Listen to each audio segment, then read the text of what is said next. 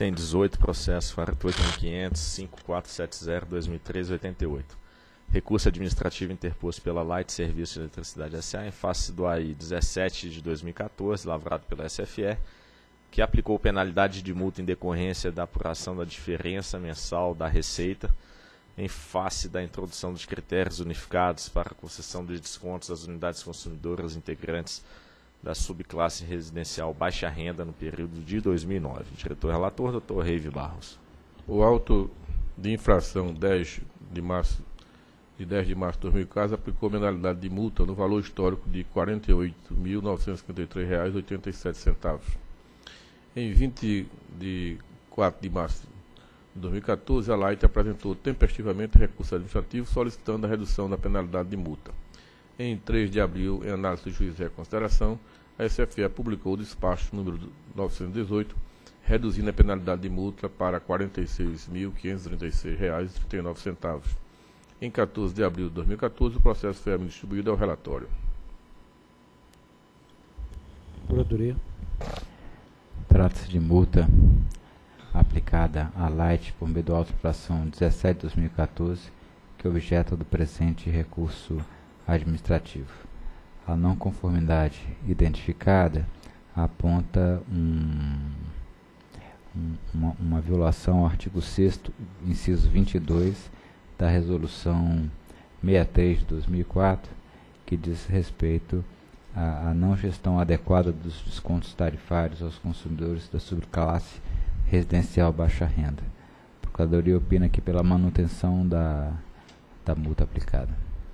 No relatório de fiscalização número 0188 de 2013, a SFE, encaminhado à Light por meio do termo de notificação 0179, constam as não conformidades NC1 e NC2.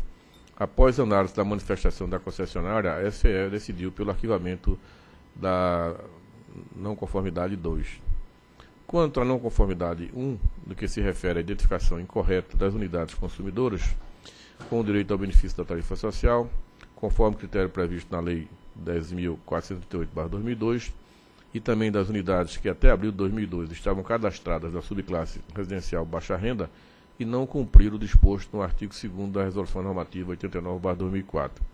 A SFE deu continuidade ao processo administrativo punitivo, tipificando a conduta infratora no inciso 22 do artigo 6 da Resolução Normativa 63/2004.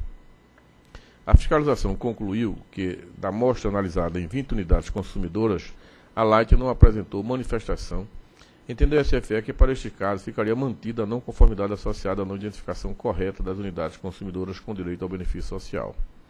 A Light, em seu recurso, apresentou fatos novos para um caso específico, o de número da unidade consumidora 41.24.76.124, dos 20 casos irregulares que foram identificados na administração. Para essa unidade consumidora, a concessionária alegou que, em abril de 2002, não existia relação contratual para o fornecimento de energia. Logo, o consumidor não fazia jus à tarifa social à época e, portanto, não haveria inconsistência na classificação do consumidor responsável pela unidade consumidora em questão para o mês verificado, correspondente a setembro de 2009.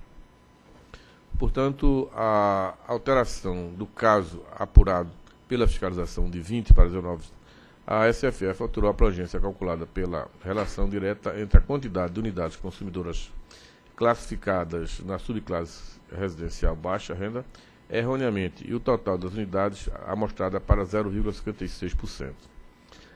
Assim, o valor da condicionante abrangência originalmente calculado para a autoinfração com um percentual de 0,58% foi agora reduzido para 0,56% e o novo valor da multa foi alterado para R$ 46.536,39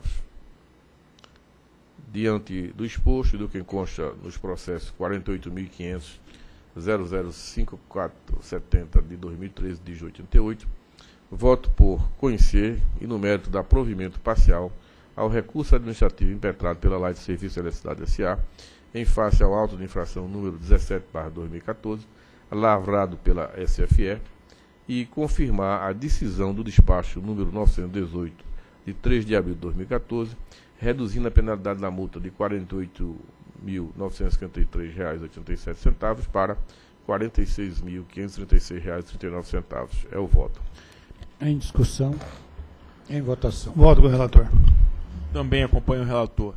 Também voto com o relator. Proclamo que a diretoria decidiu por conhecer e no mérito dar provimento parcial ao recurso administrativo interposto pela Light Serviço de Eletricidade S.A. em face do auto de infração número 17 de 2014, lavrado pela SFE, confirmar a decisão do despacho 918 de 3 de 4 de 2014, reduzindo a penalidade de multa de R$ 48.953 para R$ 46.536,39. Próximo.